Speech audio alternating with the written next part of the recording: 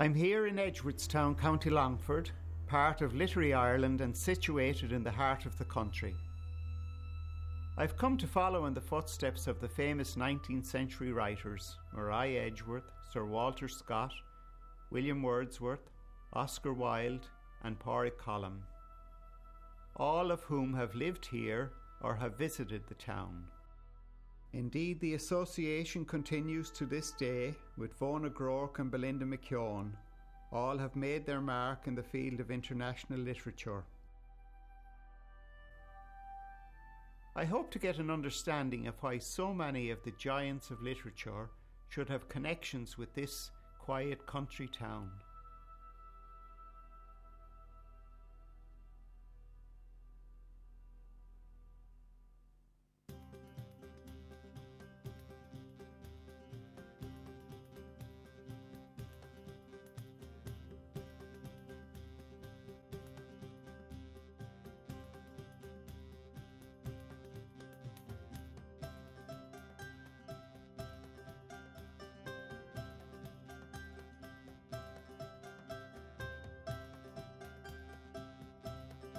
I am now walking up the avenue to Edgeworthstown House, ancestral home of the famous Edgeworth family, who left behind volumes of important works, and of whom volumes have since been written.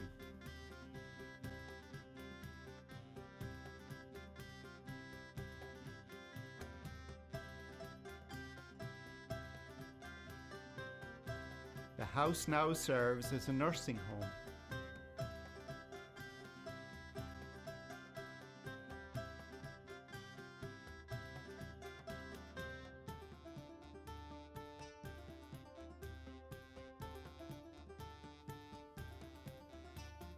The avenue leads me to the adjoining wall garden, and I am delighted to see that it is beautifully maintained.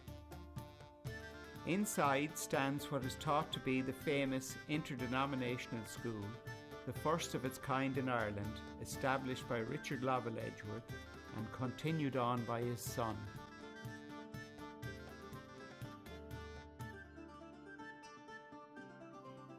The walk takes me gently through the grounds to St John's Rectory.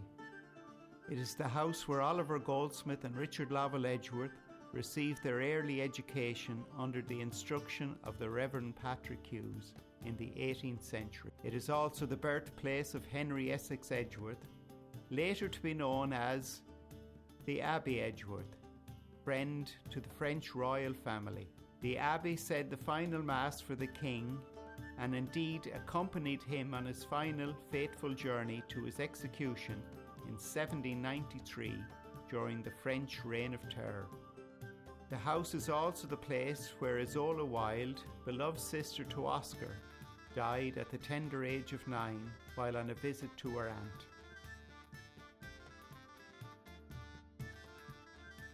Inside is housed the extensive Edgeworth Portrait Gallery.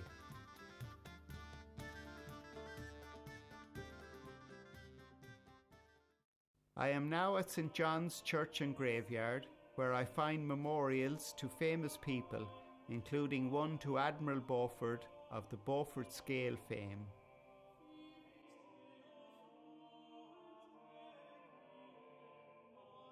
This is also the place where Maria Edgeworth and many members of her family are buried, and where Isola Wilde is also interred. I read on her memorial stone the first stanza of Oscar's poem Requiescat, written in her memory. Tread lightly, she is near, under the snow. Speak gently, she can hear the daisies grow. All her bright golden hair, tarnished with rust, she that was young and fair, fallen to dust.